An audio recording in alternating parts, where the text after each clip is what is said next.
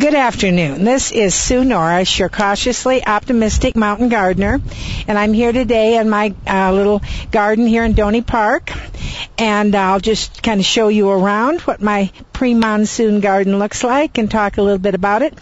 And uh, over the next couple weeks, um, you can uh, uh, catch up on it, and then the rains will come, and we'll have a whole different story.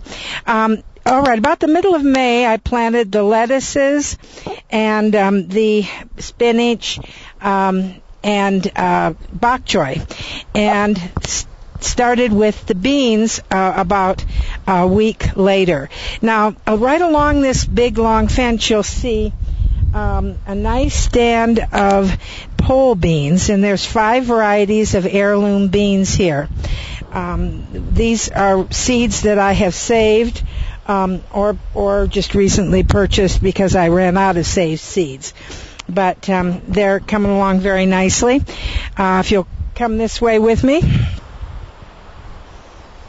Okay, our second raised bed has the um, um, basilicus plants, I think they're called, uh, purple cabbage, white cabbage, broccoli, and cauliflower. As you see, they're doing very well. Um, you notice I have some of the heads covered. I do that to protect from grasshoppers, but fortunately, we're not having many grasshoppers this year. Thank you, Lord. Uh, next, we have two kinds of um, peas, snap peas, and um, they are um, should be due. You know, they'll they'll be coming along in the next several weeks. Now, I'm a special fan of growing tomatoes. Not only are they delicious, but they're so darn interesting. And so you'll see here that I planted several uh, varieties outside the greenhouse as well. And interestingly enough, during that freeze, none of these froze. They came out perfect. These walls of water protect from way down into the 20s. Now, you notice I have them rolled down now, but normally they'll come up this high and they'll tent over the small um, smaller plant and uh, do just a magnificent job of giving us an early start.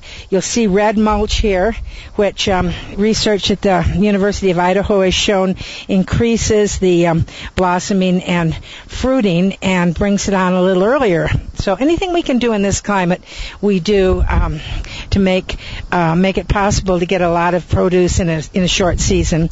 I have a pickling bush cum- cucumber along here and um, some native tepary beans um, uh, on this uh, little uh, support here.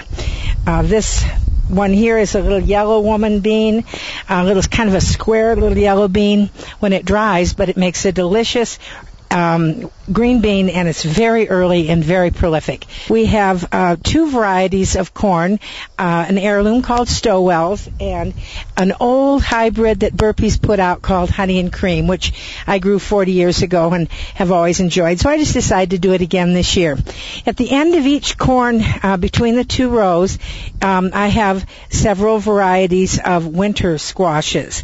Um, most of these are heirloom varieties um, that have been handed down through the generations and um, will store well all winter long uh, so that we can have um, delicious kinds of winter squash stuffed with yummies for Thanksgiving and Christmas and um, to be eating all year long. Here we have a tomatillo plant, a cherry tomato that's my granddaughter, um, my granddaughter's plant.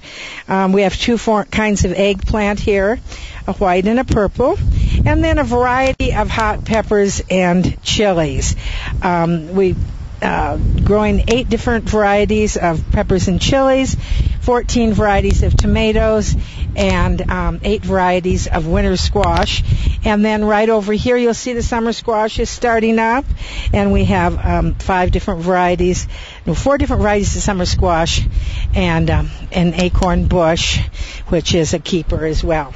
So you uh, see my little garden here in Doney Park. Uh, it's doing well. We, for the first time in years, we aren't plagued by grasshoppers.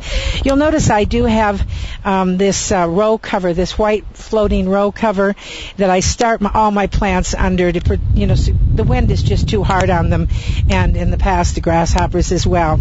Uh, but I have everything uncovered now except for the lettuces and those things I keep covered so they don't bolt. Anyway, thanks for visiting me here today, and uh, I hope to uh, keep you up on the progress of things as the season progresses.